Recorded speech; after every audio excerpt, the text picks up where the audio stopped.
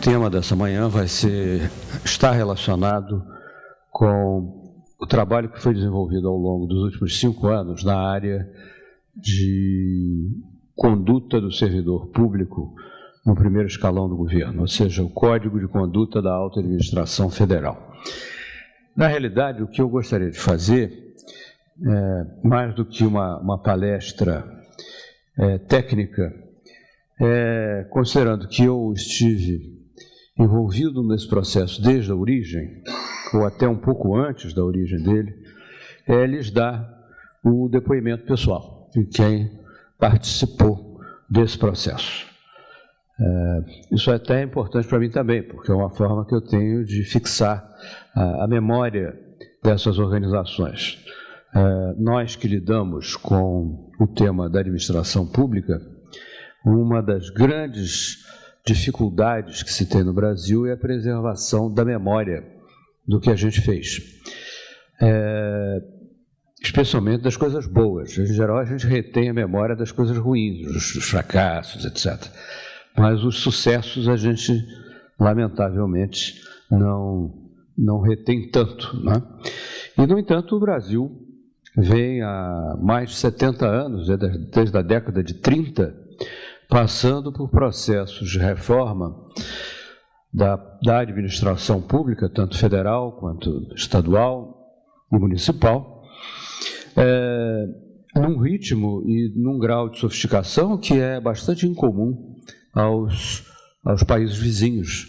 E nesse sentido, nós estamos, é, dependendo do país que a gente toma por referência, aí 30 anos na frente em matéria de administração pública. Mas, é, por uma razão histórica, é, acaba havendo processos de retrocesso. Então, os, os, esforços são descontinuados, a memória é parcialmente perdida, e isso alimenta um, um viés muito inconveniente ah, para o Estado brasileiro, que é o permanente ceticismo da sociedade com relação à qualidade do desempenho do setor público. Mas, então, o que eu me proponho a fazer, repito, é uma retrospectiva, uma breve retrospectiva é, de como surgiu o Código de Conduta da Alta Administração, é, é, a inserção desse processo nas, como reforma do Estado, e não apenas como um instrumento de gestão, e o que, que se pode esperar dessa experiência. É, como e por que surgiu, é, é, objetivamente a ideia teve origem num trabalho feito em 1996, entre 96 e 97, no Conselho de Reforma do Estado, que pouca gente vai se lembrar o que foi isso. Foi um conselho criado quando o, o ministro Bresser foi nomeado para a Secretaria de Administração então ele criou um grupo, porque o ministério era Ministério da Administração e Reforma do Estado, um grupo de reforma do Estado. Ah, é, era uma comissão relativamente ampla e de gente muito ilustre. E, curiosamente, em 96, os dois temas que foram selecionados como prioritários para um trabalho dessa comissão foram dois temas atualíssimos, né, que é o da, das agências reguladoras, e nós tivemos então uma participação muito intensa nesse processo, principalmente junto ao legislativo, porque ao executivo, apesar de estarmos a ele ligados como comissão, não fizemos muito sucesso, porque as burocracias tradicionais se fecharam para criar cada uma sua própria agência sem muita audiência da, da, é, é, da, da, classe política, da sociedade em geral. Né? E o outro assunto foi justamente a ética pública. E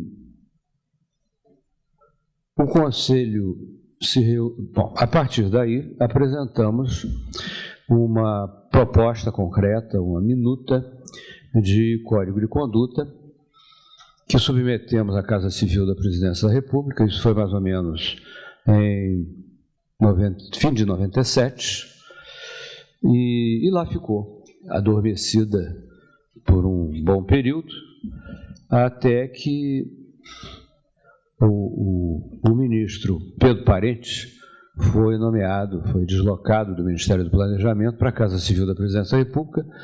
E ele, que era um, um grande entusiasta da desburocratização e da reforma do Estado, resolveu resgatar da gaveta aquele projeto que estava lá. Então foi criada a Comissão de Ética Pública por um decreto de maio de 99.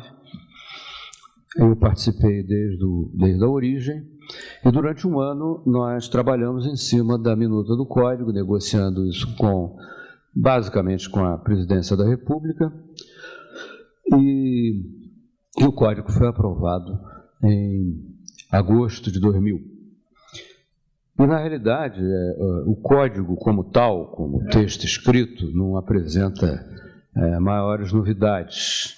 A grande novidade estava na, na estratégia de implementação desse código. Dizer, não vamos ficar é, apenas editando mais, mais códigos, vamos tentar aplicar em concreto. Vamos fazer, dimensionar o universo que a gente quer pegar, e isso foi feito logo no artigo 2 do, do Código.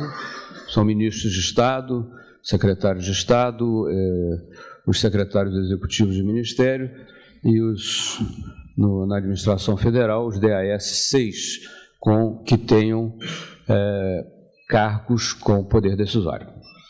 E o que dá mais é bom, dirigentes de autarquias e de empresas públicas. Isso dá mais ou menos 700 pessoas. Então, a, a, a ideia era fazer com que essas 700 pessoas ficassem totalmente ligadas, conectadas conosco, é, online, nós nos dirigirmos a cada um deles pessoalmente, desde o momento que ele toma posse, a, a partir daí, alimentando com, com informações sobre quais são os objetivos da, do Código de Conduta, como levar à comissão problemas e soluções, e, e e, também alertá-los a respeito do que, que seria considerado transgressões. Né? Então, isso foi o, essencialmente a grande novidade. Então, não o texto em si, mas a estratégia de implementação. Como eu disse logo na saída, eu não consigo desvincular é, essa experiência de outras experiências passadas. No fundo, se a gente pegar esses 70 anos de reforma, percebe-se ainda a persistência de algumas características básicas da administração pública brasileira, uma delas a tendência ao formalismo, o formalismo jurídico. Nós regulamos intensamente, por via legislativa, a atividade pública e a atividade privada. E então, quando na, nos anos 80, quando eu passei pela experiência do Programa Nacional de Desburocratização, ficou muito evidenciado para todos nós a fragilidade da base ética da ação estatal, não no sentido da desonestidade do servidor, mas em relação ao usuário do serviço público, ao titular do, do, ao cidadão que postula. A atitude, o princípio da desconfiança, que nós falávamos minutos antes de começar, o princípio da desconfiança que sempre esteve presente na, nas relações do cidadão com a, a, o poder público, com a administração. A necessidade, que é uma coisa artificializada, porque não é assim que ocorre na vida cotidiana. Não é assim nas relações sociais, não é assim nas relações comerciais. Quando a gente começa a conversar com alguém, você não precisa pedir, ele diz eu sou fulano, você não pede carteira de identidade para ver se é ele mesmo, né? E, porque presume-se que a maioria das pessoas se comporte desta maneira.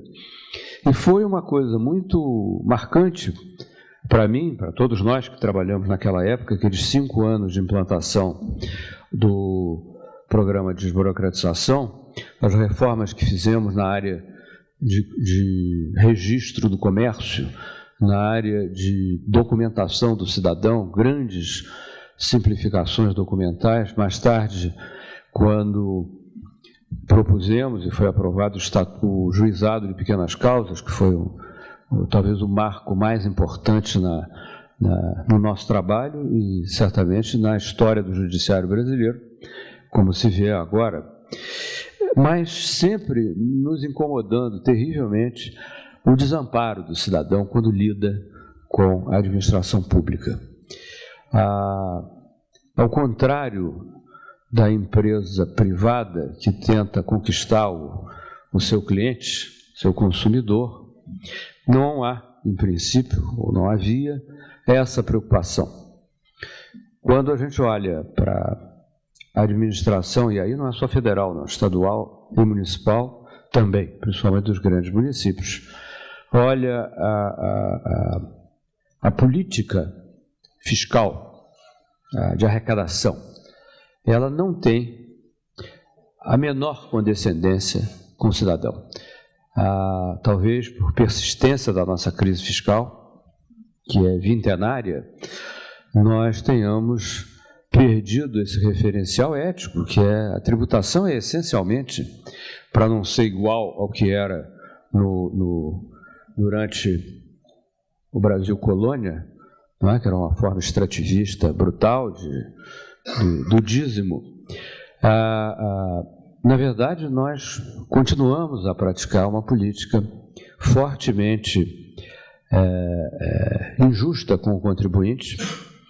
Há uma intolerância completa à inadimplência, não estou falando da intolerância à, à, à sonegação, porque aí é fraude, é um intuito é, consciente de iludir o fisco.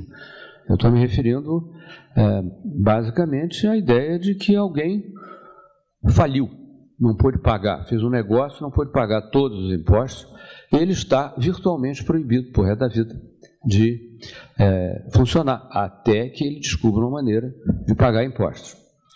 Ah, talvez o exemplo mais é, patológico que eu vi disso é de uma semana atrás uma medida provisória que foi finalmente aprovada no Congresso, mediante projeto de lei de conversão, e alguém, só pode ter sido, evidentemente, a, ou a Receita Federal, ou, ou a Secretaria do Tesouro Nacional, pegou uma carona e meteu lá um dispositivo dizendo que o, o pagamento de precatórios ficará dependendo da apresentação de certidão negativa do interessado de tributos federais, estaduais e municipais. Quer dizer, o, o camarada passou a vida brigando com o, com, a, com o Estado, anos a fio, conseguiu ganhar uma causa, entrou numa fila, esperou um ano, porque tem que entrar na lei orçamentária do ano seguinte, aí na hora de receber tem que mostrar certidão negativa de tributos. O calote que está sendo dado na sociedade brasileira com os precatórios é um escândalo, um escândalo internacional, né? Rio de Janeiro não paga não sei quanto tempo. São Paulo não paga não sei quanto tempo. Estão juntando buracos gigantescos, agora vão propor pagar em, parceladamente em 50 anos, e ainda pede certidão negativa. Quer dizer, isso é um, uma reação patológica, isso não é normal. Né?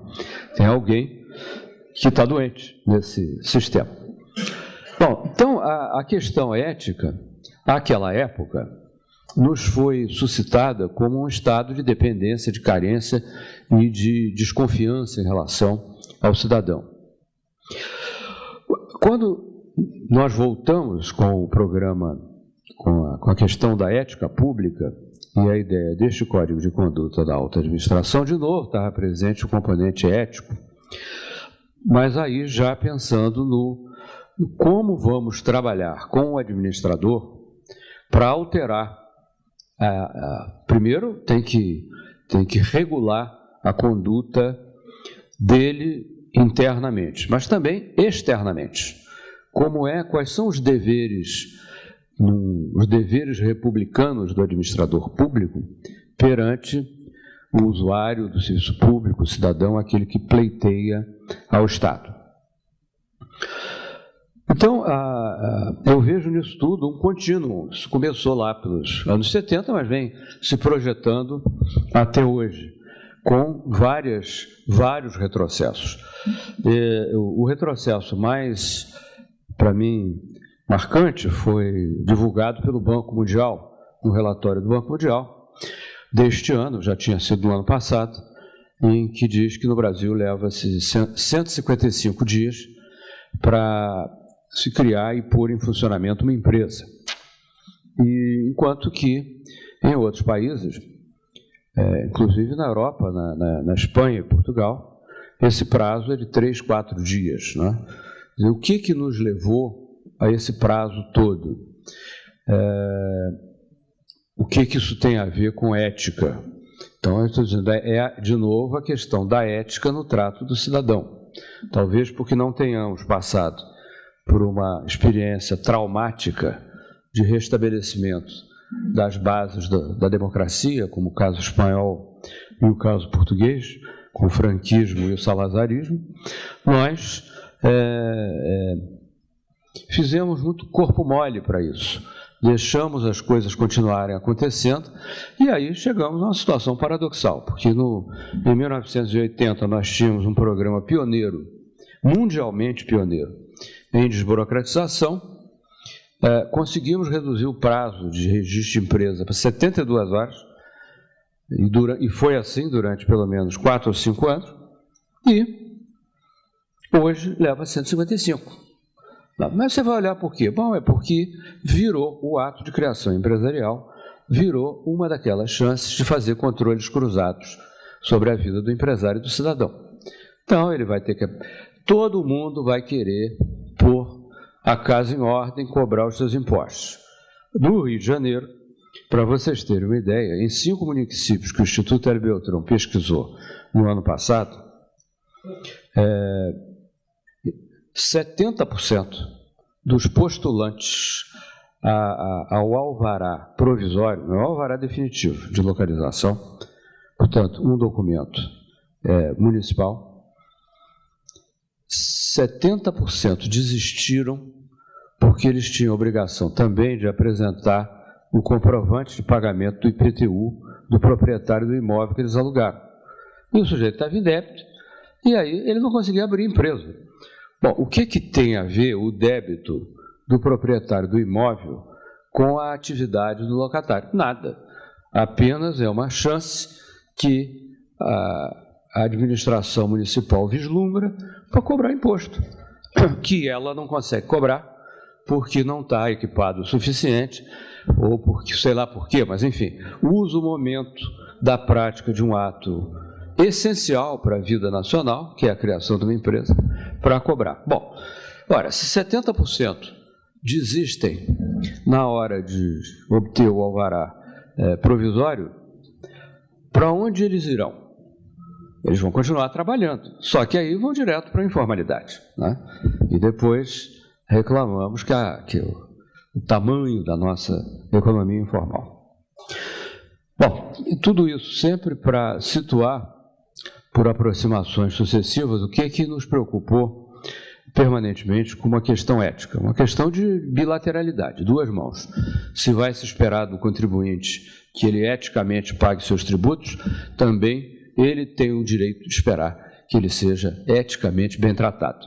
E não haja subterfúgios para cobrar imposto, não haja a falta de clareza intencional das nossas leis, isso está se tornando comuníssimo. Não se pegue carona, como se fez agora recentemente no PIS-COFINS, para aumentar para 6,5% a, a alíquota, que incide brutalmente sobre a prestação de serviços públicos concedidos, né, energia elétrica, só não, não, só não inclui a telefonia, porque tinha um lobby forte conseguiu escapar. Mas a energia elétrica está lá, um aumento brutal de energia. E isso tem a ver com ética, isso tem a ver com a expectativa da bilateralidade.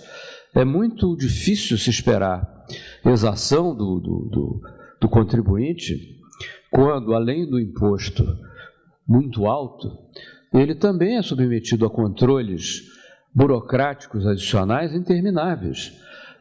Orgulhosamente, a Receita Federal divulgou que até anteontem haviam sido apresentados 56 milhões de declarações é, de, de, de isentos de imposto de renda.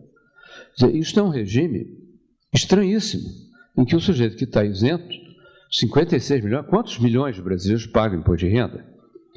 Bom, 56 milhões é a, o tamanho da população economicamente ativa do Brasil, a oficial, a, a regular. Quer dizer, está se obrigando o cidadão que, obviamente, não tem renda suficiente, e a renda de 12 mil reais por ano, mil por mês, obviamente isento. E existem N outros meios de controle. Hoje em dia, com o acesso à conta bancária, a Receita Federal poderia controlar isso perfeitamente, não precisa da declaração do isento. Ela tem 120 milhões de CPFs. Isso é maior do que a população economicamente ativa, quer dizer, está se pedindo CPF aí, de quem não precisa. Bom, dito isso como, como um introito, ah, eu gostaria de lhes sugerir, tentando adivinhar quais são as perguntas que do lado de vocês existiria a respeito de, dessa questão da ética pública. E no bojo dela, a questão sobre corrupção no Brasil. Primeira pergunta: por que agora? Por que isso surge agora? A segunda, por que mais um código? A terceira, por que não se aperfeiçoar os mecanismos de enquadramento disciplinar do administrador? Por que, que se precisou ou se julgou conveniente fazer um código? O que, que diferencia este código das demais iniciativas que foram adotadas no Brasil nesse campo. Uma quinta indagação é, será que não existe, essa talvez seja mais é, frequente das perguntas que eu escuto, será que não existe uma incompatibilidade intrínseca em pregar uma conduta eticamente orientada na administração pública, quando no plano da política, da política real, política parlamentar, uh, se assiste a todos os possíveis e inimagináveis arranjos para conseguir verbas e conseguir cargos. Essa pergunta eu acho que ela é chave, porque se a gente responder que é incompatível, então tudo isso que está sendo feito está fadado ao insucesso. E finalmente, é, de que maneira uma coisa bem intencionada que trabalha com o conceito de ética pode servir para reduzir ou combater ou prevenir a corrupção no Brasil. Bom, por que agora? Vamos à, à primeira das indagações. Em primeiro lugar, ficou evidenciado até por conta desse ambiente político no qual se vive hoje, como é o sistema político brasileiro? É, é de base parlamentar pulverizada. E qualquer governo, este governo, Fernando Henrique e todos os anteriores, desde 85, tiveram que construir uma base parlamentar. Essa base é feita por cooptação da classe política. Como a classe política está reunida em torno de partidos de baixa densidade, à exceção do próprio PT, à exceção do PSDB e, e, e mais um ou dois partidos menores, PFL certamente também tem um certo grau de coesão. Os outros partidos são ah, absolutamente fluidos em matéria de, de retenção dos seus ah, eleitos. Né? Você tem uma ideia, o, o PSDB da eleição é, da última eleição parlamentar para hoje, perdeu 50% dos deputados. O, PT, o PTB ganhou 50% dos parlamentares.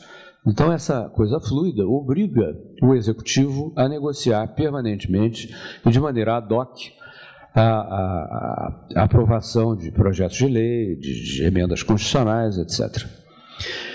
Isto realmente é uma ah, um modo de operação política não só complexo, mas extremamente vulnerável às solicitações que sejam incompatíveis com o interesse público. Ao mesmo tempo, significa que o Brasil é um de dois países do mundo presidencialistas em que parlamentar pode ocupar ministério. Isto é absolutamente uma coisa característica do Brasil. Éramos só, só nós. Depois o Paraguai aderiu também. É, é, é verdade. Somos dois países em que o presidencialismo é, permite que o parlamentar seja nomeado ministro ou secretário e depois e não perca o mandato, não tem que renunciar. Ele preserva o cargo e pode voltar para o cargo. Ou seja, uma, um parlamentarismo é, meia bomba, né? não, não é inteiramente parlamentarista. E, bom, o que que na nossa percepção e experiência de lidar com a administração pública se vê um grande descrédito da política de parte do funcionalismo de carreira. Quando ele assiste um ministro do partido X ser nomeado para um ministério importante, com verbas poupudas, ele acha, bom, por que, que vão cobrar de mim é, conduta ética, se a gente sabe que esse ministro aí vai distribuir verba, sabe Deus como, vai nomear não sei quantos parentes. Então, é, é, havia a percepção da necessidade, muito claro no Conselho de Reforma do Estado, a necessidade de fixar um padrão de conduta para a alta administração. Porque para a média administração isso já existia. Temos o Código Penal, temos o, o Estatuto Funcionário Público, tem a Lei de Improbidade, tem o Código de Ética do Servidor Civil, tudo isso está muito regulado, amplamente regulado. Mas isso atinge, basicamente, o funcionário de carreira, o nível intermediário, mas a cúpula não tinha esse tipo de norma explicitada. A segunda coisa que nos preocupou foi transmitir à sociedade uh, um exemplo de preocupação com conduta, um exemplo vindo de cima, efetivamente, do presidente da República. Uh, e com isso, é, é, atender também uma substancial mudança na expectativa da sociedade em relação à conduta do administrador público.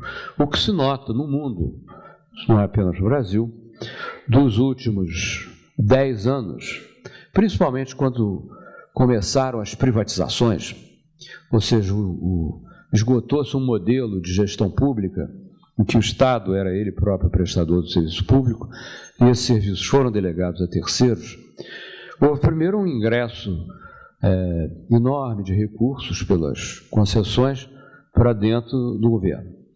De outro, uma necessidade de gerir com visibilidade e transparência absolutas a, a esses recursos. E aí, claramente, o, a sociedade não se satisfazia mais, não sabia, não, fulano é um ministro que vai se pautar pelo seu foro íntimo.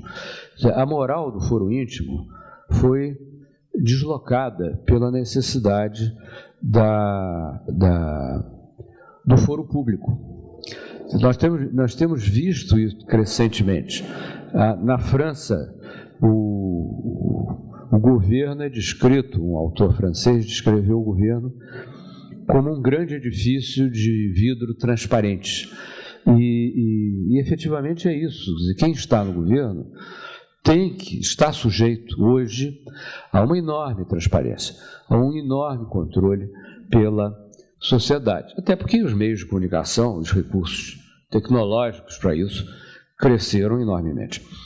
Ah, ah, então, isso também foi a necessidade de resposta. Agora, por que, que precisávamos de mais um código para isso? Porque, o que, que ele é diferente das outras normas? É muito pouco diferente no texto escrito. Ele é, na verdade, um pouco mais curto, eu até trouxe para vocês dois exemplares para ficar em biblioteca é, de reedição do código. E, e, quando você lê o código, está tá bem, mas uh, o, que, que, isso, o que, que isso tem de diferente? A diferença é que o código é apenas uma espécie de norte que se usou para lidar com a situação concreta. O, o que nos preocupou sempre não foi a, a tentar produzir regras de conduta, porque isso está vem desde a Constituição, no artigo 37, a moralidade pública, tudo isso já está amplamente definido. Mas acontece que essas coisas não são é, claro-escuro, não é uma situação que você sempre possa dizer, não, isso é uma questão, isso é ilegal, isto é legal. Não. Em administração concreta, cotidiana, várias situações são ambíguas. O administrador público, por sua vez, não tem ou não tinha a quem recorrer, nunca teve, sobre a conduta dele. Ele pode ter a quem recorrer se ele tiver uma dúvida jurídica. Eu posso, que, qual é o conceito de dedicação exclusiva, etc. Isso ele consegue. Demora, mas consegue. Agora, se ele é, tem um parente que vai participar de um processo de licitação, como é que ele deve se conduzir? Isto ele não tem a quem perguntar.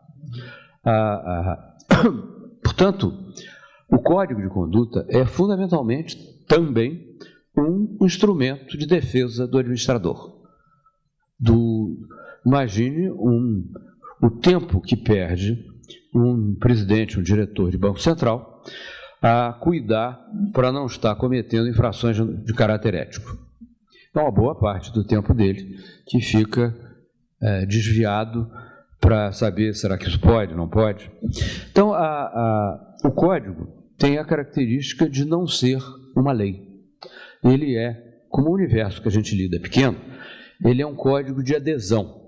Ele está mais parecido com o estatuto de um clube do que propriamente de um decreto de caráter normativo. Ah, Estranhou-se muito no começo a ausência de penalidades fortes no código. O código, como não é uma, uma lei, ele só prevê a advertência, recomendação, advertência e, e, e uma declaração de inidoneidade ética, uma censura ética. Ah, mas não tem punição, não tem multa, porque se tivesse, nós teríamos que assegurar aquele devido processo legal, contraditório, ah, ah, como ocorre nas posições disciplinares, que leva aí um ano. E a gente tem que resolver em cima do fato. Né? Ah, se, se tivéssemos esse dever disciplinar, nós, evidentemente, estaríamos nos igualando a outros tantos órgãos que existem, o pessoal administrativo de cada ministério. Ah, ah, bom, então, o, o, o, que nós assistimos ao longo dos, das últimas décadas foi uma crescente legalização, entre aspas, da questão da moralidade pública, o que acaba não cobrindo todas as áreas, como eu disse. A área cinzenta na administração pública é muito grande. E isso as pesquisas que nós fizemos na Comissão de Ética revelam muito bem. O, o, há certas coisas que são óbvias. Essas não, não fazem parte da zona cinzenta. Ah, todo mundo sabe que não deve receber propina. Todo mundo sabe que não se deve deixar alguém furar fila é, para a obtenção de um determinado serviço. Mas não fica muito claro se o o seu padrinho está doente, precisando fazer uma cirurgia cardíaca de urgência, se você não possa usar o seu prestígio para é, conseguir vaga no hospital público. Aí já começa a ficar um pouco mais difícil a escolha individual. Ah, tá bom, não se deve receber presente. Poxa, mas vai ser descortês com o seu amigo de infância que vai lá ali. É, fazer um gesto puramente afetivo. E são, são situações, eu estou falando de coisas bem elementares, mas eu posso falar de coisas muito mais complicadas, como, por exemplo, o que, onde pode um presidente do Banco Central do Brasil investir seus recursos financeiros. Ele é um investidor igual a qualquer outro? Ele pode especular com moeda estrangeira? Onde está dito que não pode? Só no Código de Conduta. Agora, também você não pode chegar para um presidente do Banco Central e dizer: olha, você é, não pode nem ter conta corrente bancária, porque, como paga juro, o juro é fixado pelo governo e pelo Banco Central, então você não pode, você pode estar querendo remunerar. É, então, são, são situações que demandam, acima de tudo, bom senso na hora de fixar a norma. Ah, ah, bom, e o, então o conceito desse código não é um conceito punitivo, repressivo clássico, é o conceito eminentemente preventivo e pedagógico. O que está se procurando fazer é evitar que ocorra a situação de transgressão. Por isso, ah, os primeiros dois anos de, de comissão foram fundamentalmente anos dedicados a responder consultas, sem a preocupação de enquadramento é, punitivo. Houve algumas situações ah, principalmente relacionadas com a negativa de prestar informação à comissão. Porque toda vez que alguém recusa, recusa-se a prestar informação, é tão óbvio que essa prestação de informações é conveniente para o administrador, por que, que ele não presta? Aí a gente começa a apertar o cerco e com isso houve logo no primeiro primeiros seis meses de vigência do código três demissões numa empresa pública do Amazonas, federal no Amazonas, e coincidentemente eram os três diretores da mesma empresa que se recusavam terminantemente a dar informações sobre sua vida patrimonial. Né? Ah, ah, bom, esse, então esse trabalho dos primeiros anos foi um trabalho fortemente pedagógico, continua sendo pedagógico. E, e o que também se fez, e aí acho que ingressamos claramente no, na inovação, nós estabelecemos uma linha aberta de conversa da autoridade com a comissão. É, e quem inaugurou isso na prática foi justamente um presidente do Banco Central à época, o Armínio Fraga, que tinha sido nomeado numa condição de cerrado bombardeio, porque ele vinha do exterior, trabalhava no Banco Soros e o patrimônio dele era basicamente financeiro.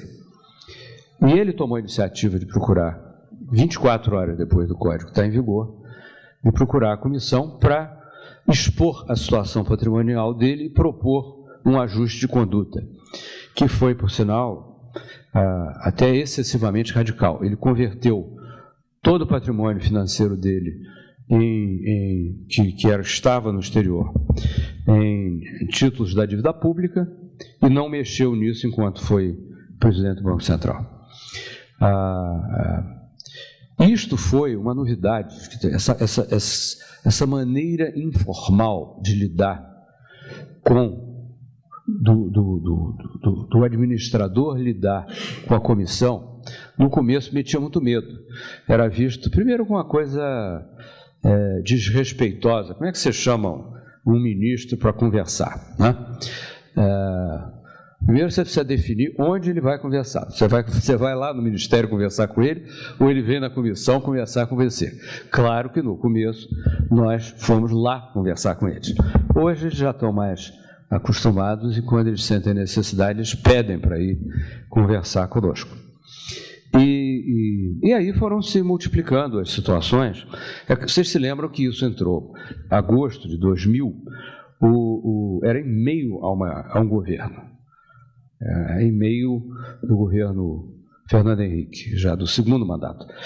E houve muita indisposição quando o código entrou em, entrou em vigor, porque ele foi de adesão aí nesse caso, é, ficta, né? as pessoas aderiram, deu-se um prazo, quem não reclamou é, aderiu.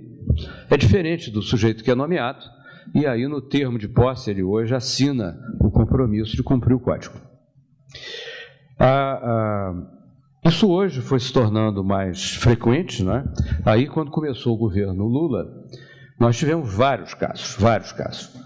O, O primeiro foi justamente o presidente do Banco Central, de novo, o Meirelles, e que, na realidade, ele conseguiu sobreviver ao bombardeio porque ele fez também um ajuste de conduta bem mais complexo do que o Armínio Fraga com a comissão. Ele foi é um jogo bem aberto. O ministro vai, a gente tem conversas prévias, num dado momento a gente se reúne a comissão inteira para conversar com ele e chegar ali a um consenso sobre conduta.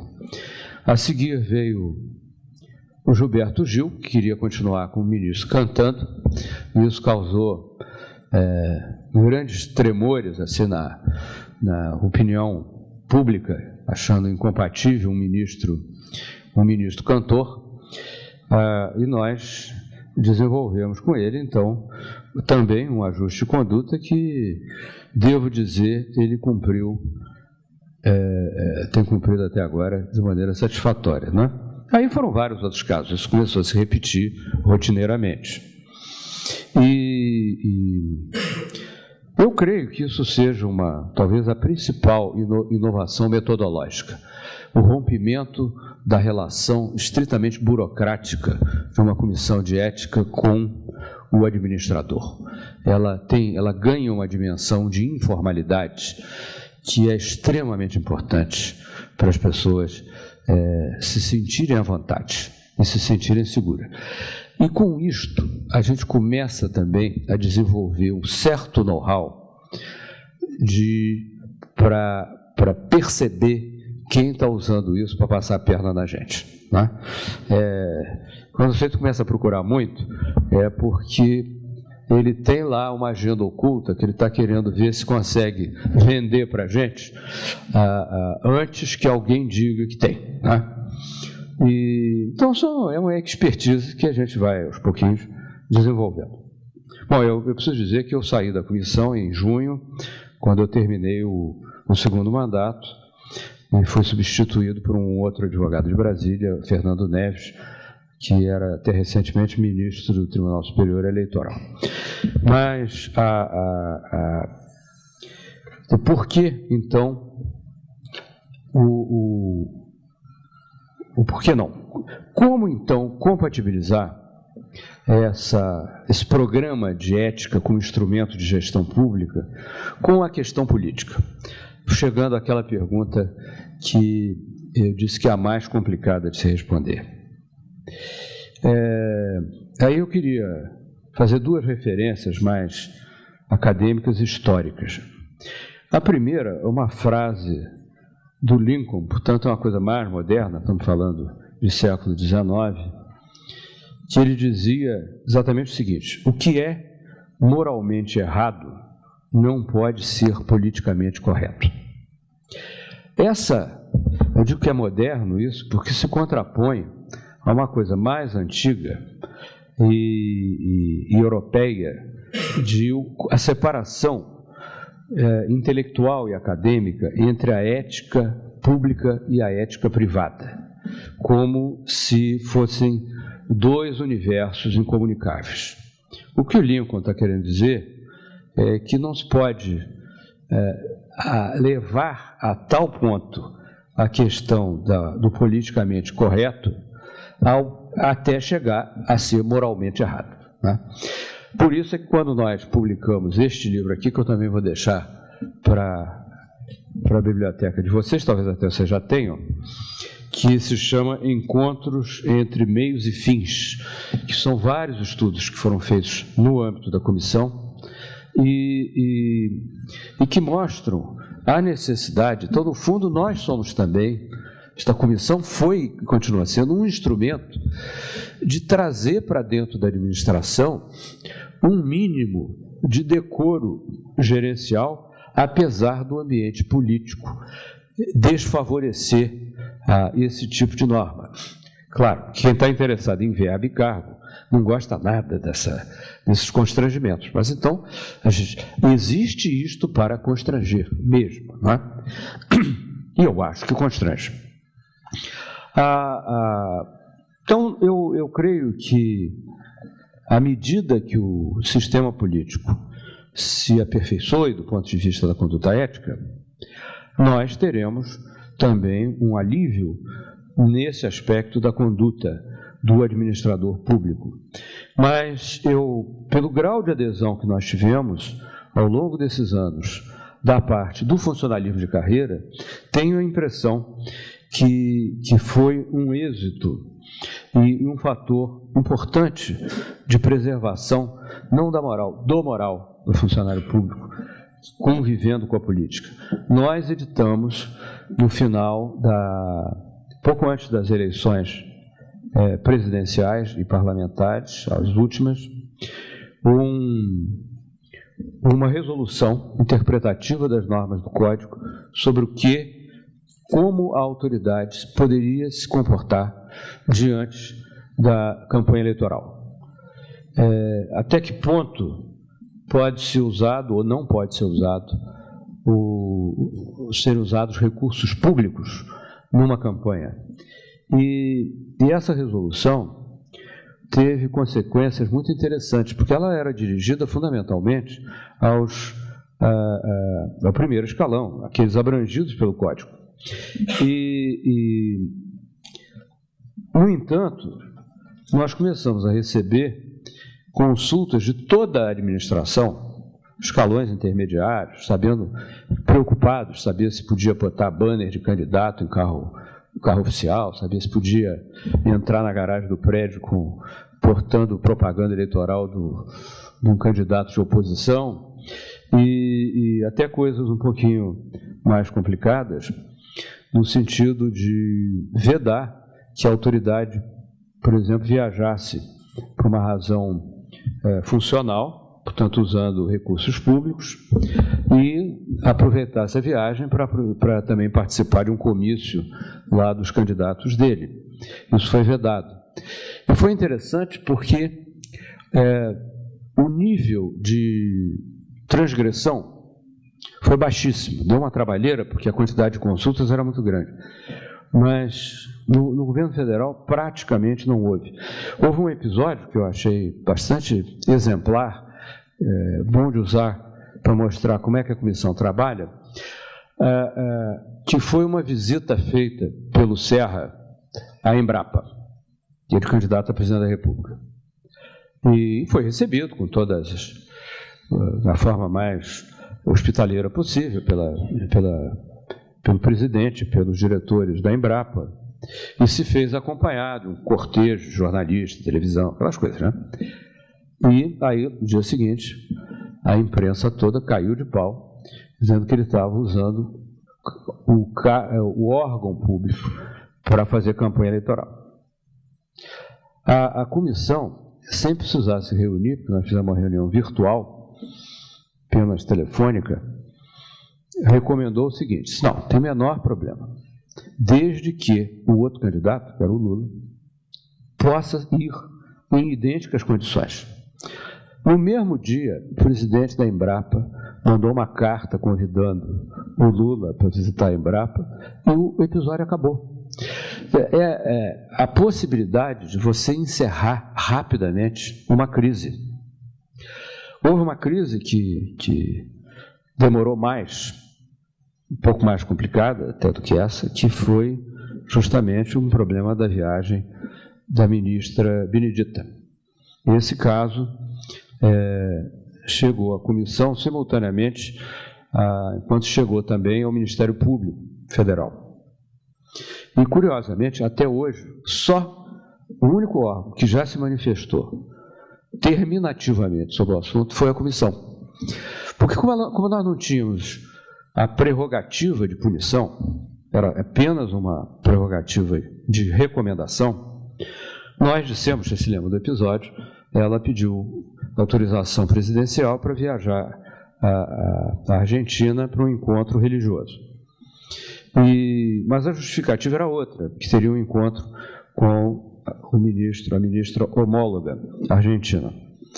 A, a comissão examinou, pediu informações a ela e chegou à conclusão que não era motivo suficiente para viajar é, é, com ônus público, ou seja, com recursos públicos.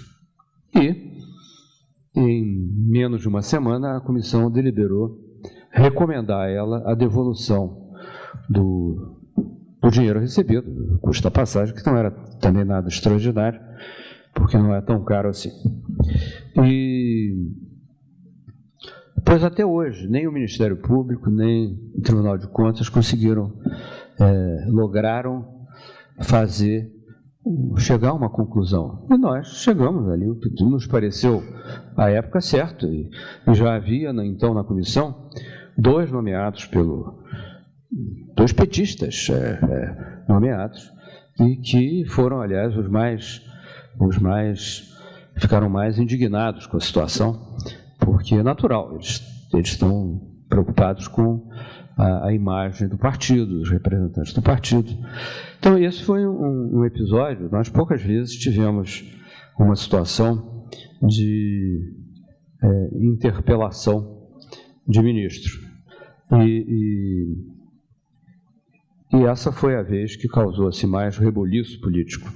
Mas o reboliço foi mais causado pela, pela, pelo mau assessoramento que ela teve no episódio. Ela podia ter se aproveitado da, da recomendação da Comissão de Ética para pôr uma pá de cal no assunto, devolver esses recursos, como de fato ela devolveu, só que devolveu, só deliberou devolver 15 dias depois. Aí o advogado dela, dizendo desaforo para a comissão, e aquelas coisas que saíram no jornal. Né? Ah, ah, mas, enfim, eu acho que são episódios assim que vão aos poucos consolidando a, a a eficácia do instrumento. E eu acho que houve um momento, um momento crítico muito importante, que foi a mudança de governo. Eu, em dezembro uh, anterior à mudança, apesar de ter havido encontros entre uh, membros da comissão, a comissão e os futuros ministros já nomeados, a transição foi relativamente civilizada, né, com uh, o, o, governo Fernando Henrique ainda dando apoio, isso tudo em 2000, é, 2002, ao presidente eleito, havia uma séria dúvida se, se realmente isso ia continuar. Nós tivemos que esperar o, o dia, a posse dos ministros para ver se realmente eles continuavam lendo e assinando o compromisso de cumprimento do código. Então, é, essa, a, a, o fato de um programa como esse ter sido adotado, perfilhado pelo novo governo, é um fato da maior importância. Ah, considero da maior importância que não tenha havido o, nenhuma precipitação, todos nós pusemos os cargos à disposição, no sentido de substituir os membros da comissão. Eles foram substituídos eh, à medida que os mandatos iam acabando. Ainda restam dois membros da comissão da gestão antiga, que são o Marcílio Marques Moreira e o Camilo Pena. Ambos foram. O, o, o Marcílio chegou a ser ministro no, da Fazenda, no governo Collor, portanto, ele é típico do, do, do antigo regime, né? Como também o Camilo Pena, que foi. É, isso é um homem que circulou em várias áreas do governo. E, e, e é curioso né, que a convivência entre pessoas aparentemente contrárias do ponto de vista da sua formação ideológica tem sido extremamente amena e enriquecedora. Não houve. É, na segunda reunião da comissão já havia uma perfeita sintonia entre os que estavam entrando e, é, e os que já lá, já lá estavam. Bom, eu, é, tão rapidamente, eu, eu vou reservar mais tempo para vocês fazerem perguntas, porque eu sempre acho que falar mais do que uma hora é, é, é exaustivo para quem, para quem fala e, e tedioso para quem escuta, né? E, e acho que, por se tratar de um tema bastante é, pelo menos não o tema em si, a ética, mas a maneira de tratar o assunto, seja bastante inédita, reservar uma boa parte para as perguntas. Então, eu queria então mencionar a, a, o último ponto, que é a questão da corrupção. Em que medida isto pode é, um programa de ética pública, de valorização da ética como instrumento de gestão, pode contribuir para reduzir a corrupção. A percepção de corrupção no Brasil é fortíssima. Ah, uma pesquisa, ah, várias pesquisas já foram feitas pela Census e a cada seis meses sai uma. O brasileiro responde, 73% dos consultados acham que a corrupção no Brasil é grave e, e a maior é, do que, é e maior do que em outros países. É, ou seja, a, a autocrítica que nós fazemos é extremamente negativa sobre nós mesmos. Acontece que os mecanismos de percepção, de detecção, de percepção é feito à base do que sai no jornal. Nós estamos desde os anos 90 a já fizemos impeachment de presidente, caçamos mandato de vários parlamentares e, e entramos agora num ciclo em que não é, já não é mais denuncismo, é, já é a efetiva atuação policial em cima da corrupção. A Polícia Federal vem se equipando ao longo dos últimos anos e realmente hoje ainda não chegou no ponto de ter todos os recursos materiais necessários, mas está ah, com uma atuação muito eficiente e usando bem, a, a, respeitando o princípio da, da ordem judicial, mas promovendo suas escutas, enfim, está fazendo uma devassa grande na administração. O Ministério, a, a Corregedoria Geral da União, por sua vez, está também é, escarafunchando a, as administrações municipais e descobrindo óbvio, que 90% delas é, é, desvia recursos federais, muda a finalidade dos recursos federais. É claro, recurso de livre transferência, o sujeito não teve, o prefeito não teve menor compromisso perante o, o contribuinte local, né, o, o munícipe, é, é, em relação a ele usa para pagar 13 terceiro salário, aquela coisa que é, é, tradicional no Brasil. Mas, mas, de qualquer maneira, o que, há um clima geral que aumenta fortemente a percepção de corrupção no Brasil. A própria política repressiva, que é feita com base nos instrumentos é, legais normais, é, é, ela, ela é estimulante da da percepção negativa, porque parece que o país está ficando cada vez mais corrupto, quando na verdade a gente está cada vez descobrindo mais casos de corrupção, que é, é bem diferente. A, a, corrupção não existe até ela ser detectada, essa que é a, a, a lógica do processo. Né? E esse é o modelo que é adotado aqui e adotado principalmente nos Estados Unidos. As situações são codificadas, aquilo é considerado o crime, ele é apurado e aí reprimido é, com as punições previstas em lei. Há um outro, uma outra política que é mais adotada hoje nos países europeus e nos países da OCDE, que é a, a de políticas preventivas. A, a, o combate à corrupção começa antes da, de, da detecção. E aí, nesse contexto, esse trabalho que, que é feito por uma através de um código de conduta da alta administração, tem um valor pedagógico importante na prevenção da corrupção. E, e, então, mediante até treinamento, se consegue melhorar as condições de operação da máquina administrativa. Nesses quatro anos, foram feitos vários cursos de formação de gestores de ética pública e são mais ou menos 250 uh, ah, alunos já que passaram pela ENAP e, e, nós temos um grupo de professores muito treinado, cada vez mais treinados, no sentido de fazer a difusão da ética como instrumento de gestão. Então, é, o que a gente faz basicamente é retirar da discussão ética o seu conteúdo filosófico é, abstrato e transformá-lo numa questão concreta. Como aqueles exemplos que eu dei, né, que você faz quando alguém pede para furar a fila do hospital. É, isso é, é, isso é ou não é uma transgressão ética. E, e isto é objeto de treinamento. Essas 250 pessoas estão espalhadas por toda a administração federal. Quando nós começamos em 2000, só 30% dos órgãos da administração federal, de um total de 160 unidades, eh, tinham, tinham programas específicos de conduta de ética pública. E hoje, 83% já tem.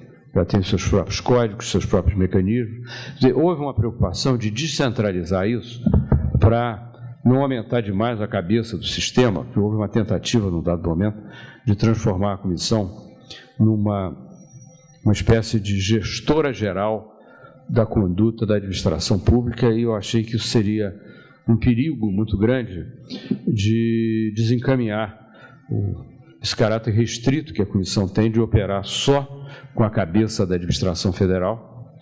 E senão a gente vai ter que. Depois é muito difícil, porque a gente tem que ah, cada órgão terá um conjunto de normas de conduta diferentes. A Receita Federal é diferente da Previdência Social. O Ministério da Indústria e Comércio também é diferente. No caso do Banco Central, é muito mais rigoroso. Ah, ah, no caso da Receita, a ênfase é diferente. Você tem que botar a ênfase muito mais na, no respeito ao cidadão, ao contribuinte, do que propriamente na conduta do servidor, do ponto de vista da sua moralidade intrínseca. E uma, uma das mensagens básicas do nosso, desses nossos cursos tem sido mostrar que, na realidade, as pessoas se comportam de determinada maneira, é, se comportam honestamente, não é porque a lei diga que vai punir a desonestidade com severas penas. De uma maneira que as pessoas não matam, não é porque o Código Penal prevê, é, considera o, o, matar alguém um, um crime grave.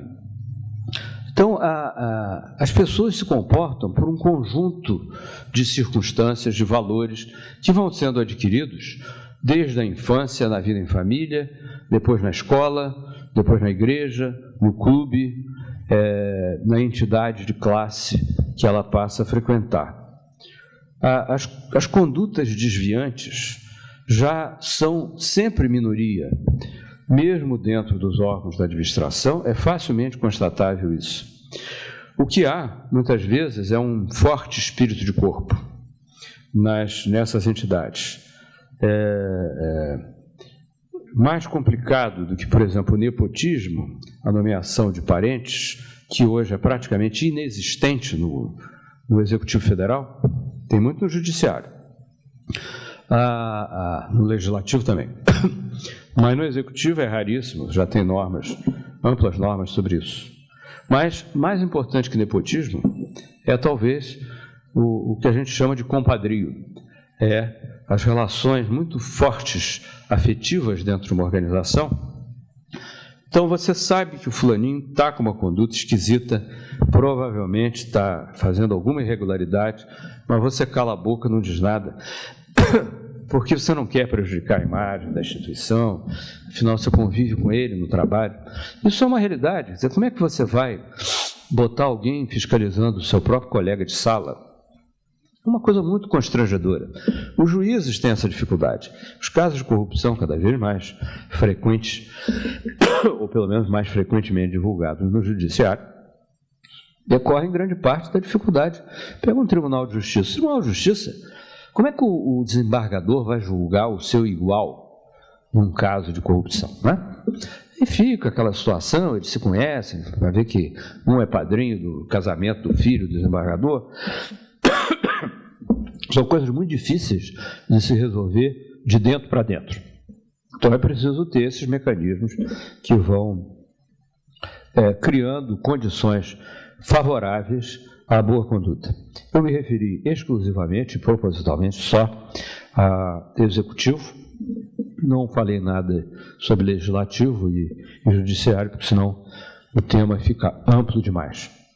Eu, eu, proponho, então, depois de uma hora e dez, que a gente faça aí um intervalo e voltemos para conversar mais com perguntas de vocês, se estiverem de acordo. Pode ser? jornalista falava da ação heróica da Polícia Federal hoje em dia. De fato, se tem um organismo do governo federal que recorrentemente tem aparecido na, é, em cena, em ações até às vezes espetaculares, é a Polícia Federal. E ele, inclusive, a qualificou como a heróica Polícia Federal, né? Heróica. Bom, uma coisa que me fez pensar, eu acho muito a propósito né, da, da, da sua palestra, é, é, o senhor inclusive comentou que não é que isso não significa que tenha aumentado a corrupção no Brasil, simplesmente os casos é, estão aí aparecendo. Mas aonde eu queria chegar é, era isso. O que, que leva, por exemplo, um organismo como a Polícia Federal uh, num, que num, num, determinado momento, e é, é interessante porque no, no bojo da própria corporação há casos tremendos de, de, de corrupção, né? Então, mas o, o que, que leva ao mesmo tempo esse contraste de ação de um organismo com a Polícia Federal de ter assim ações heróicas, né? Ações muito visíveis, de grande visibilidade no sentido de, de combate à corrupção e, a, e, e cortando a própria carne e ao mesmo tempo este outro lado, quer dizer, ter as suas ovelhas negras, né, ao mesmo, ao mesmo tempo ela continuar fazendo isso, enfim, e de que maneira esse, um código de conduta é, e as ações uh, preventivas poderiam ter é, reflexo né, num, num, comportamento como o da Polícia Federal, como se observa hoje. A Polícia Federal é uma organização com características militares. Ela se pauta como se fosse uma, uma força armada. Eu tive uma experiência interessante ano passado, exatamente um ano atrás. Eu fui convidado para fazer uma palestra para eles na escola de, de polícia em Brasília. E tomei até um susto, porque eram 500 formandos e era apenas uma turma. De, desde, desde dezembro para hoje, já se formaram 2 mil policiais federais, entre delegados, agentes e peritos. É uma força. É, eles, eles, são armados mesmo, até durante a palestra, festa de formatura, estão todos armados. Né? E eu tive uma certa dificuldade de ingressar no tema da discussão sobre ética com eles. E a única coisa que me ocorreu foi dizer que, bom, é, vamos ver como é que eu posso abordar esse assunto se vocês andam armados. Portanto, vocês devem ter um código de conduta para usar arma que não é aplicável a mim, porque eu não posso usar arma. Né? E, e, e me impressionou muito essa organização de uma filosofia estrita, militar, etc. E há uma, uma disputa de poder na Polícia Federal, que a gente já sabe há alguns anos, que a gente podia separar entre a velha guarda e a nova guarda. Né? E essa nova guarda é a que está ficando mais numerosa, mais treinada e, e com mais recursos. E, e ela que está assumindo, ela é absolutamente independente. Quando a gente diz, não, a Polícia Federal é subordinada ao Ministro da Justiça. É uma subordinação puramente teórica. A Polícia Federal age é, rigorosamente por conta própria. Até agora, ela tem agido com uma preocupação muito grande de ficar dentro da, da legalidade, de não fazer escuta sem ordem judicial e não invadir residência sem, ou, ou órgão público sem a, a ordem judicial. Então, a parte, digamos, formal, jurídica, ela está procurando preservar. Mas, evidentemente, que a Polícia Federal tem hoje um, uma consciência política do que ela é muito forte. Muito forte. Nós nunca tivemos isso no Brasil. Isso é uma novidade. Né? O que isso vai dar? Por enquanto tem sido bom. Evidente que num dado momento você vai ter que controlar a Polícia Federal também. Né? É como aquela coisa do Ministério Público. O Ministério Público reclamava que não tinha independência. Não... Bom, aí ganhou todas as independências possíveis na Constituição de 88.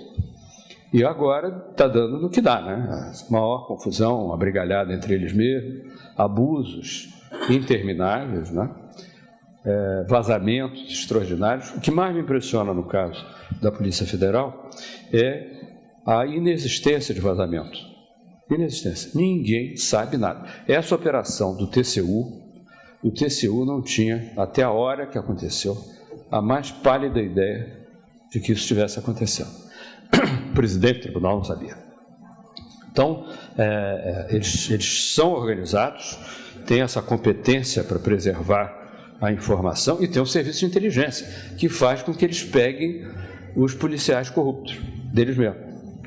Então você, e é uma, uma força-tarefa.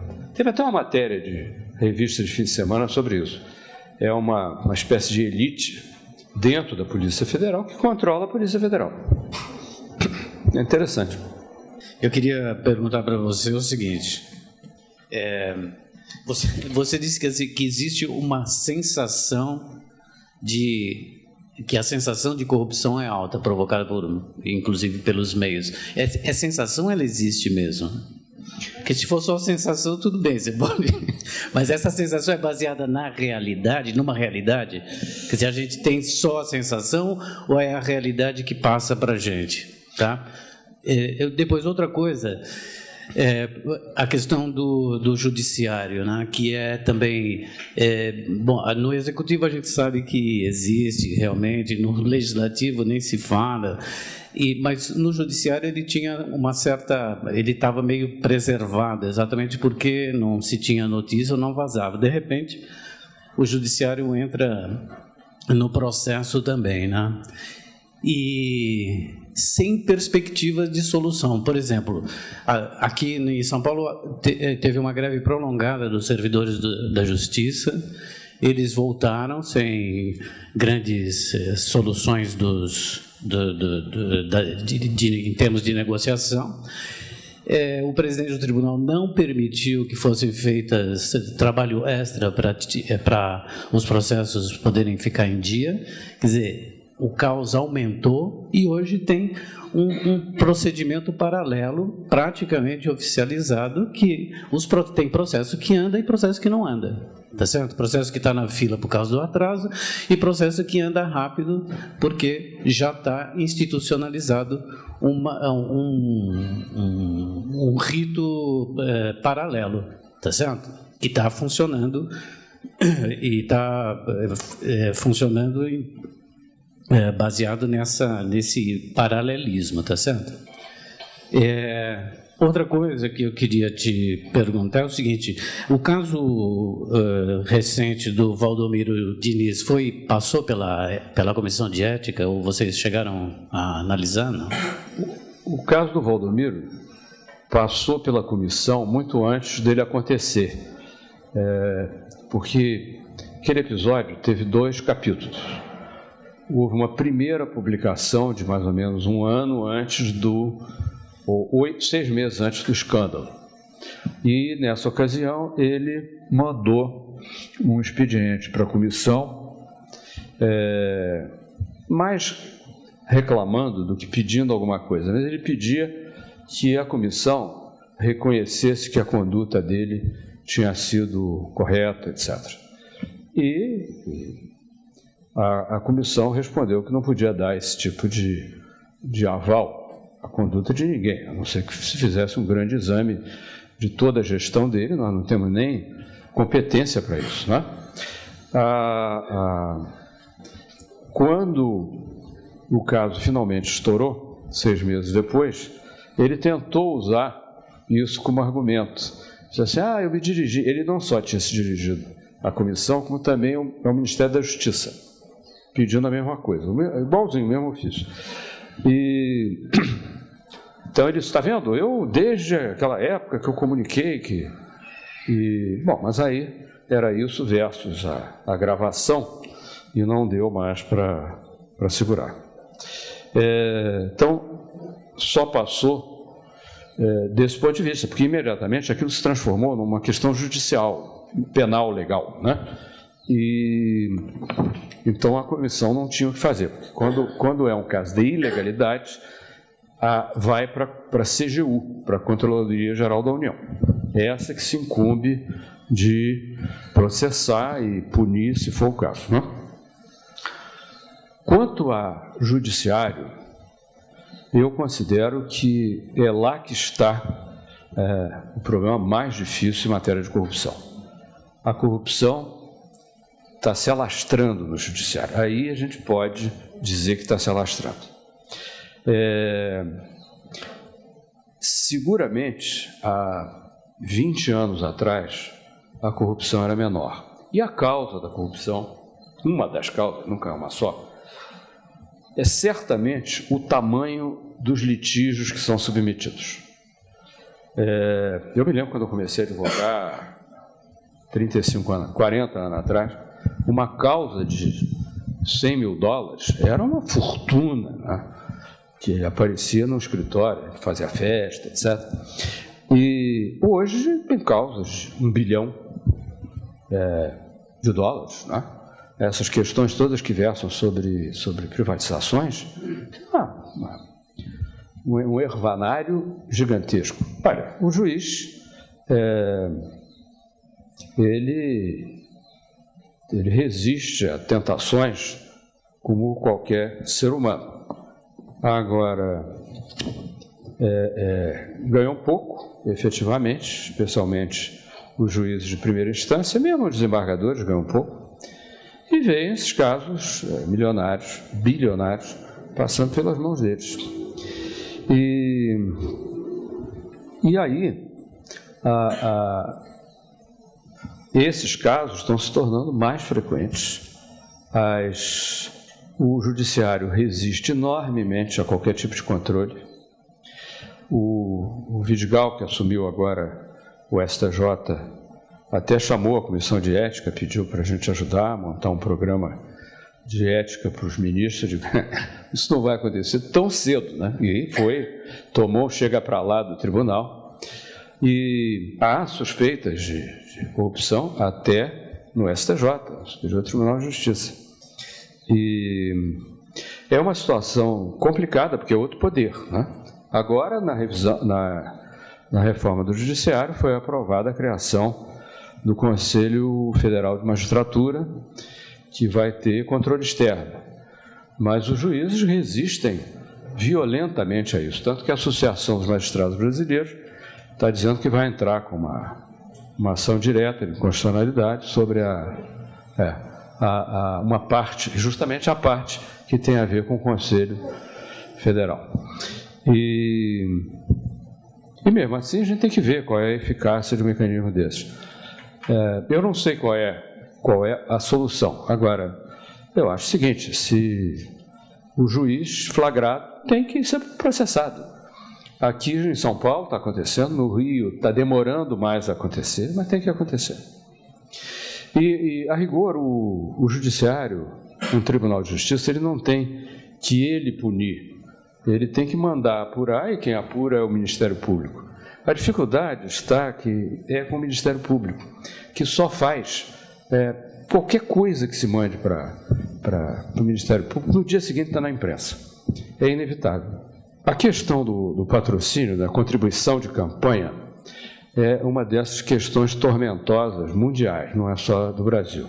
Os americanos se, se, se dilaceram lá com essa questão há, há muitos anos. Nós temos uma legislação no Brasil razoável é, de, de, de, razoável transparência das contribuições oficiais para a campanha, que é o, por meio dos bônus que os candidatos podem é, oferecer e, e, qualquer um, empresa ou pessoa física, pode adquirir e contribuir para a campanha, né, para o fundo partidário.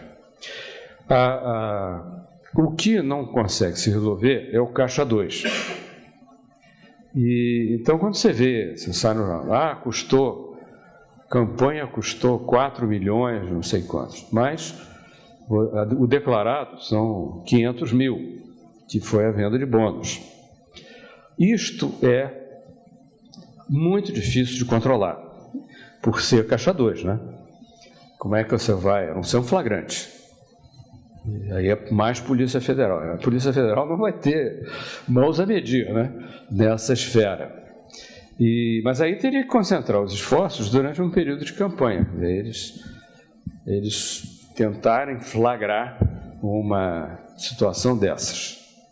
E, aliás, começa a aparecer. Né? O caso das CPIs no Rio de Janeiro foi um escândalo terrível. Agora, no Congresso Nacional, a, venda de, de, de, de facilidades pelo o próprio parlamentar cria a ameaça de chamar o sujeito para fazer uma devassa na vida dele e depois retira o nome. Né? Então, 95% das pessoas que foram, foram arroladas como passíveis de fiscalização foram dispensadas. Claro, porque pagaram, né? Porque pagaram diretamente ao deputado. E tanto que se suspendeu. A do Banestado está suspensa seis meses, porque metade da comissão estava se corrompendo, está achacando os suspeitos. Bom, a, a, voltando à questão de contribuição, o que se discute hoje no Brasil seria a, só haver recursos públicos para a campanha. Eu acho isso inexequível, né? Como é que você vai garantir? Em primeiro lugar, eu, eu não, me, não me agrada a ideia do dinheiro do meu imposto ir para financiar a campanha de candidato que eu não gosto, que não é do meu partido. Né? E, e segundo, não vai eliminar a, a, a, o Caixa 2. Então você vai ter a campanha com recursos públicos, a campanha com recursos privados, declarados, e a campanha com Caixa 2. Né? E eu, eu não, não existe meio de acabar com esse Caixa 2 num país desse tamanho, com eleições gigantescas, como são as eleições brasileiras. Agora, para não só falar mal do sistema eleitoral, temos que reconhecer que, em matéria de votação, nós temos um sistema praticamente à prova de corrupção. Né? Não tem como fraudar eleição no Brasil né, do jeito que está. Os episódios que acontecem nos Estados Unidos não aconteceriam aqui, né? pelo grau de sofisticação que nós alcançamos. Bom, é, não sei se, infelizmente, não pude responder de forma conclusiva, porque o assunto não tem resposta conclusiva esse de contribuição para a campanha. Se alguém patrocinou a campanha de alguém e, e, e depois essa pessoa, esse eleito, vira ministro, ela, ela não pode ir lá para pleitear nada, porque, ou melhor, ela até pode ir lá pleitear porque não está proibido, mas eticamente aquele ministro não pode atender o pleito é, daquele patrocinador. Eu acho que há um problema aí se armando grande na, nas PPPs, porque de repente nós que sempre cultivamos até o exagero a separação entre o público e o privado, é, vamos assistir esse conúbio aí de recursos públicos com recursos privados, ou o lado privado administrando recursos públicos, isso, isso estressa a base ética da relação. Né? Ah, isso é complicado. E acho que também aí vai dar muito trabalho para a comissão de ética. A propósito dessa até da questão das PPP, é, eu queria que o senhor explorasse um pouco essa questão da eficácia da capacitação específica para ética. Estou uh, falando isso porque isso me vem uh, em detrimento de um outro modelo em que a ética esteja presente em toda a capacitação voltada para o setor público. Então, qualquer instrumento de gestão ele tem que garantir uma ética, a ética pública, principalmente já partindo logo de cara de uma divisão bem, uma distinção bem clara do que é público e o que é privado. Uhum. Né? Então, eu, eu, trabalho há algum tempo aqui em capacitação na Fundap e a nossa preocupação sempre foi colocar a ética como um princípio e fazer com que, de alguma forma, todos os cursos respondam à questão ética. Então, curso de orçamento, uhum. curso de planejamento, curso de gerenciamento de projetos, qualquer um tem a ética né, Assim como então, assim, eu pergunto um pouco a eficácia de um curso uh, específico para uh, como, ética como instrumento de gestão, em detrimento de ética como eixo de toda a capacitação voltada para a gestão pública. E, e ainda assim, mesmo a capacitação é, que tenha como eixo a ética, também como ter como resultado conduta ética é uma coisa também bastante é, questionável, né? Porque o que a gente vê é assim, que ter conduta ética é nadar contra a corrente. E uma corrente assim que é maior do que o próprio setor público, né? Uma corrente que, tá, que é social, que é econômica. Então, é, que incentivos, né? Uh, a gente enquanto setor público poderia uh, pensar em desenvolver para enfrentar esse esse problema assim porque é uma coisa estrutural. A formação ela ter, teria que começar lá na educação na família. Retroagindo uh, o aspecto educacional em torno de ética até a escola até a família. E, e o ideal era que cada organização pudesse ter esse conjunto de valores, porque eu não acho que haja, nós não estamos modernizando no sentido de criar uma ética nova. O, os valores éticos estão dados, a gente sabe quais são, os, os gerais. Agora, como você os implementa, é aí que reside o problema. O que nós temos tentado fazer, e, e aí eu acho que a eficácia vai variar muito de órgão para órgão. É, por exemplo, a ANEL, Agência Nacional de Energia Elétrica, criou o seu próprio programa de ética, criou uma comissão e onde entra o curso de formação de gestores, não é, não é de formação de filósofos da ética, é de gestores. Eles vão lá e treinam, fazem reuniões de grupo, é, levantam as situações que são mais frequentes. Agora, com a ideia de transformar isso num valor ah, forte, predominante, dentro daquela organização, em substituição ao companheirismo, ao espírito de corpo da organização. É isso que o, esse treinamento visa. É muito cedo para eu lhe dizer se isso vai dar certo. Tem que esperar aí uns anos para ver como é que, numa área como de prestação de serviços públicos, isso funciona. É, e nem todas as agências, porque elas são órgãos relativamente autônomos, ingressaram nisso.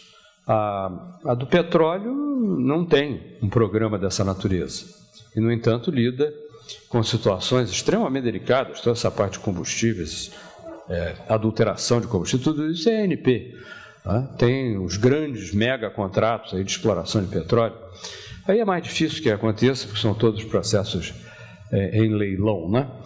Mas, enfim, é, vai depender disso também ser assimilado pela direção daquela casa como um valor permanente, próprio. Você pode trocar diretoria, mas aquilo vai continuar a ser exigido daquela diretoria como um valor permanente daquela organização.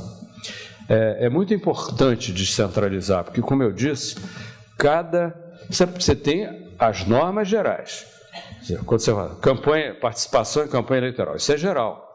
Mas quem presta serviço público de energia tem um conjunto de valores éticos a respeitar, principalmente o do usuário, que vai ser diferente do, do valor ético. Por exemplo, a missão de uma, de uma ANEL. O que, que se busca no modelo regulatório? Entre outras coisas, a modicidade tarifária. Então, tem que imbuir naquela agência a ideia de que você não pode aceitar, pura e simplesmente, uma política fiscal que seja predatória do preço, seja, seja inflacionante do custo para o consumidor. É? São coisas que ah, é típica daquela agência. E nós temos que fugir sempre da generalização, porque a generalização deu no que deu. Você tem um monte de regras, desde a Constituição. Eu acho que o Brasil é o que mais regulou moralidade pública do mundo. Eu não conheço nenhuma outra legislação, fizemos essa pesquisa ampla, que tenha tanta norma. Nós temos 12 tipos penais só no Código Penal, relativos à, à conduta moral do, do servidor público. Né? E, e vai por aí adiante. Rigorosíssimas leis. A lei de improbidade, ela é draconiana, ela é de um rigor absurdo. Por isso é que é difícil condenar. O juiz, para botar alguém na, na cadeia, dizer, você considera improbidade, mesmo que não haja ganho material para a pessoa que cometeu a improbidade, improbidade virou sinônimo de irregularidade. É, uma decisão equivocada pode ser considerada uma, mesmo que seja dentro do poder discricionário do administrador, e aquilo ser considerado improbidade. Foi considerado aqui improbidade pelo Ministério Público em São Paulo o, o não sei que órgão público que não botou uma tela para proteger os animais que passavam ali da reserva, atravessavam a estrada da reserva florestal. Isso é improbidade. Isso pode até ser uma, uma irregularidade funcional, é, deveriam ter feito efetivamente aquela, aquela cerca para proteger o, o meio ambiente, mas você não pode dizer que isso é improbidade. Probidade tem a ver com conduta moral. É? é a violação de um princípio moral básico para um ganho pessoal. Isso é terror. Isso não é improbidade, não?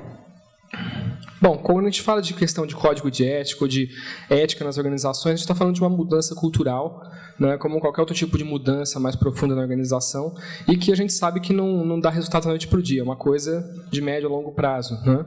E, então, assim, uma primeira pergunta, assim, se você não acha interessante também, seja na capacitação específica para ética ou colocando ética como um tema em todas as áreas de capacitação, é, ou mesmo no dia a dia do trabalho, você também não tem uma não é interessante você ter também uma abordagem teórica, não de um filósofo, claro, mas você acabar não, não ficar só restrito aos exemplos práticos, casos práticos também são importantes, claro, dá uma noção bem clara do problema, mas também partir para um ponto de vista teórico, por exemplo, na questão da separação entre ética pública e privada, né, que é uma grande discussão.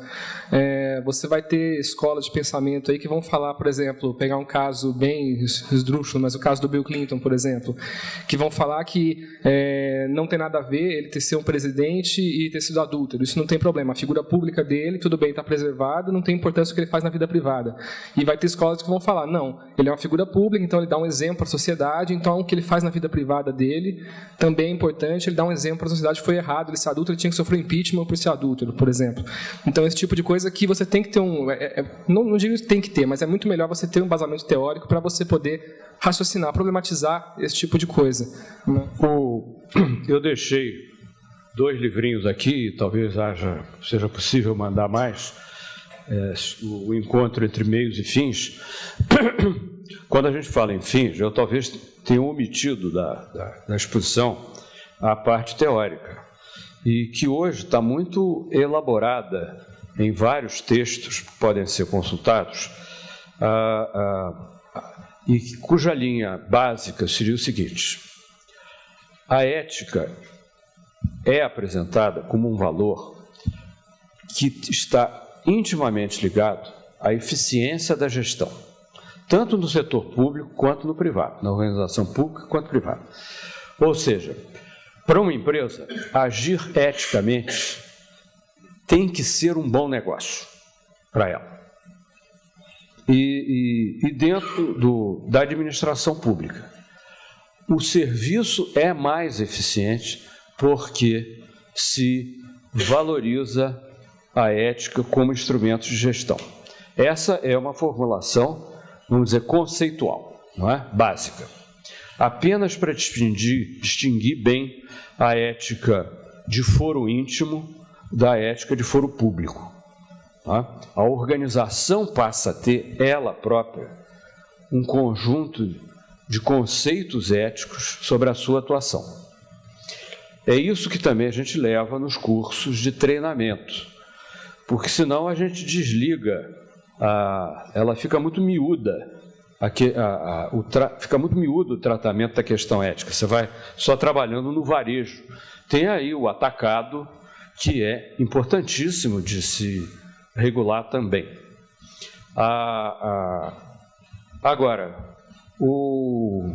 Quando a gente retroage um pouco a pergunta que ela fez aos demais valores que você vem incorporando, eu acho que, claro que vale a pena ensinar isso, não só no curso de, de gestão, quando a pessoa já se tornou um funcionário público, mas também na escola, na, na escola primária.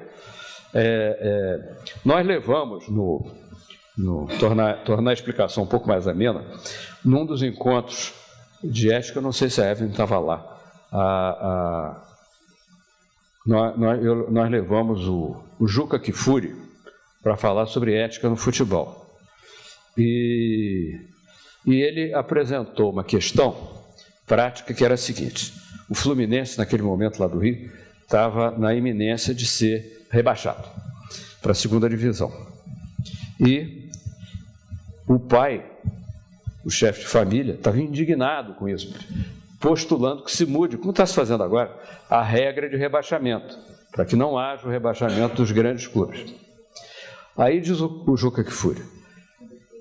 Aí o pai que faz isso, que diz isso, que grita isso diante da televisão, diz para o filho: Meu filho, você tem que estudar, você tem que ir à escola, você não pode é, tirar dinheiro da carteira da sua mãe.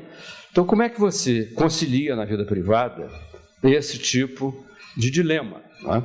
Ah, claro que isso, na medida em que possa ser ensinado em, em, em todos os fóruns, será melhor. Ah, ah, eu costumo usar como imagem para descrever isso o, aquele samba de gafieira famoso, né? O, o, dance a noite inteira, mas dance de jeito. Moço, o ambiente exige respeito. E, e, isso é como a ética pode funcionar numa organização privada e poderia igualmente funcionar numa, é, é, em qualquer, qualquer órgão público. Quando, se vocês um dia quiserem ir uma grande gafieira no Rio de Janeiro, a, a, a estudantina, ali você tem dias que tem mil pessoas dançando. E, e você não vê nenhum incidente, o, o cavaleiro tira uma dama para dançar que ele não conhece. Agora, é o seguinte: se houver, é, se alguém ultrapassar o código que está vigorando, ele vai ser advertido. Se ele persistir, ele vai ser expulso. E tudo isso é muito rápido. Né? Mas o que é? Aquilo é um código, está combinado que as pessoas vão ali para dançar e não para outra coisa. E, e é, na vida privada, isso acontece na igreja, no clube. Né? É, é, por isso é que eu digo que a tendência das pessoas, natural, é aceitar a norma. Elas começam a aceitar quando a norma ou é absurda, por excessivamente rigorosa, ou há uma conspiração contra a qual ele não pode se opor. Nós, é, nesses treinamentos que temos feito, nesses cursos, nos deparamos com situações altamente constrangedoras da pessoa que teve a coragem de, constatando uma, uma pesada irregularidade, ela reclamar para o auditor, para o ouvidor do órgão, e depois ser removida para o Pará, porque para se livrarem dela, para punir a quebra. É também um código de conduta, né? O mafioso tem um código de conduta, o traficante também tem. E, e isso é que tem que ser quebrado, né? Essa a lógica do corporativismo. Agora, é claro que isso daí não, não é um processo que a gente possa imaginar que vai ser perfeito. Vai ter sempre a falha, vai ter que ficar corrigindo. Mas a, a... E isso tudo é, no fundo, uma grande novidade em termos de administração pública no mundo. É, é bom lembrar que até 1997, a, a, legislação de vários países europeus, a Alemanha inclusive, previa, dizia que não era, era, era despesa dedutível o suborno pago em país subdesenvolvido. É, é, é é uma coisa espantosa, né? Isso tem, portanto, sete anos atrás, que mudaram a lei. Agora está todo mundo apavorado com o terrorismo, com a, o uso da corrupção pelo, com o dinheiro da droga. Mas há sete anos não tinha, achava que era normal. Você vinha aqui, bom, país subdesenvolvido é assim mesmo. Se você não pagar, você não ganha, né? nem participa. E, Isso é uma coisa muito dinâmica, que eu acho que está em plena efervescência. Mas, curiosamente, o Brasil tem, em certas áreas, uma, um conjunto normativo bastante avançado. Por exemplo, em mercados capitais, a CVM. A CVM é um órgão que foi criado já há bastante tempo, desde 67, e, e, e foi crescendo, regula bem o mercado. Se olhar, é melhor do que o sistema da Stock Exchange Commission americana. É, você já aquela regrinha que os americanos estão adotando que o, o, o, o, o auditor não pode ser consultor, já existe no Brasil há muito tempo. É, é, curioso isso. Nós temos pedaços do Estado que se modernizaram, outros não. O que é uma coisa absolutamente inacreditável é que você tem um órgão como o DNR, sabidamente corrupto, 100% corrupto, e a única coisa que o governo conseguiu fazer até agora foi trocar o nome do órgão, que não se chama mais DNR, virou DENIT. Mas os ladrões, os ladrões são os mesmos. Né? Ah, ah, ah. Nós fizemos um estudo que não faz parte desse livro, faz parte de um outro livro. Um estudo, aí foi uma coisa bem, bem técnica, é um modelo, em que se busca aferir o grau de suscetibilidade à corrupção dos diferentes órgãos de governo. E, mediante a conjugação, para simplificar, de dois vetores: o poder de compra do órgão, ou seja, a capacidade que ele tem de gastar dinheiro, e o poder de regulação. Quando você junta os dois, você tem o máximo do risco. E aí você precisa diminuir dele a, a, a capacidade que cada organização dessas tem de neutralizar esse poder, fazendo com que a conduta seja adequada mediante controles, treinamentos, lá o que for, código de conduta.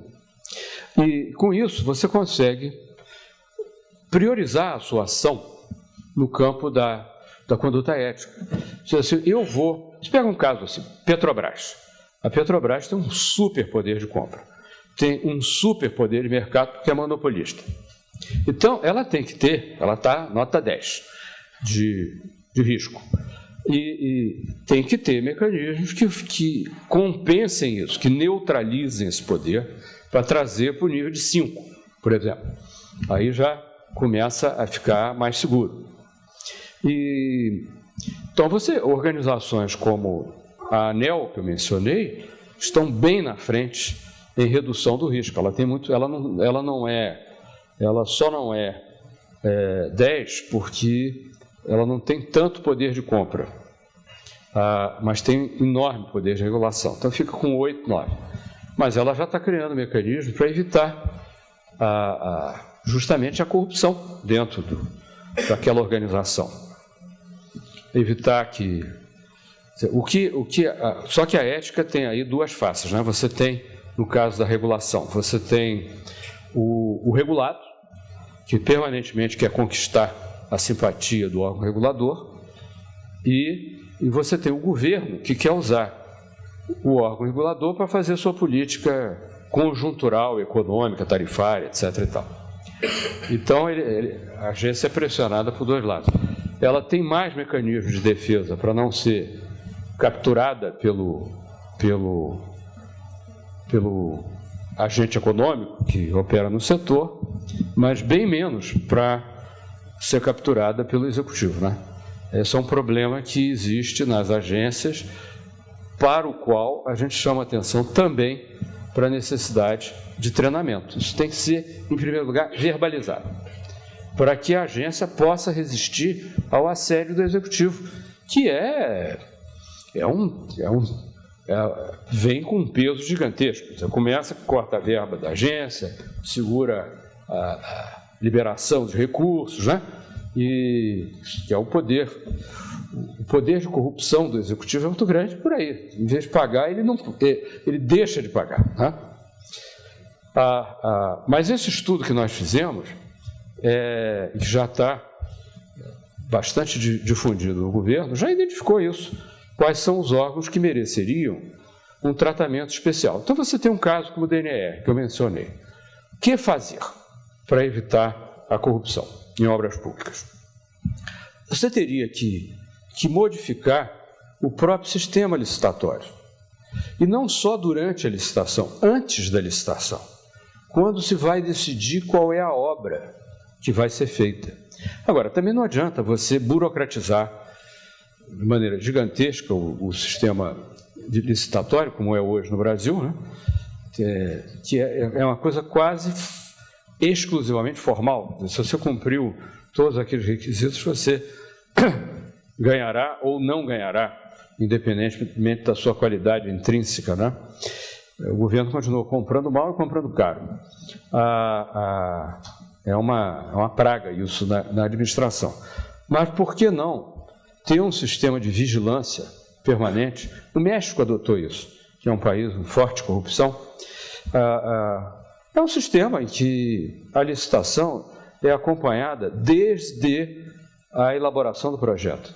Dizer, por que, que eu vou fazer aquela ponte e não outra ponte? Ou por que, que eu vou fazer a ponte em vez de estrada, ou vou comprar navio em vez de, de caminhão?